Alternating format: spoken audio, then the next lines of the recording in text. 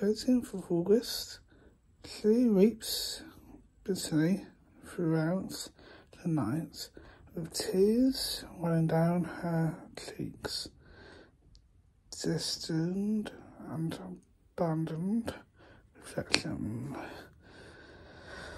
The Book of Lamentations was written during a period, period when Israel was humiliated and discarded.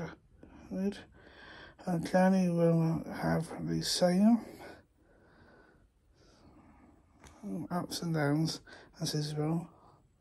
We know that the story of Israel doesn't end in defeat but in victory.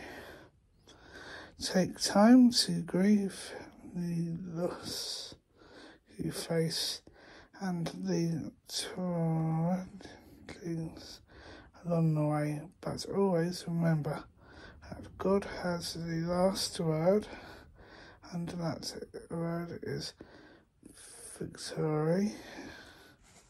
Victory. Repair.